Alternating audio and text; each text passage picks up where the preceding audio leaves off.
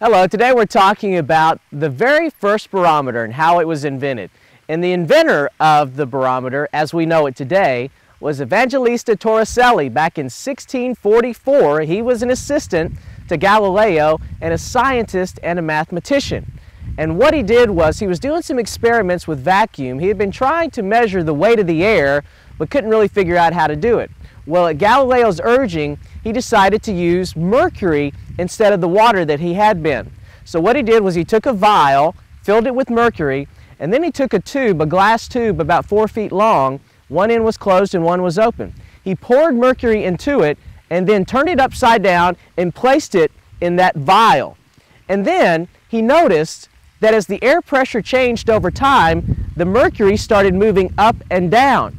And then he figured out, well, the only way that that could be happening would be a change in the weight of the air. Because as the air pressure increased, the weight increases, it pushes down on the mercury in the vial, and that forces the mercury on the inside of the tube to rise. Conversely, if the air pressure drops, the mercury rises in the vial, that allows the mercury inside the tube to drop. So that's the way the first barometer was invented, and again, that was in 1644.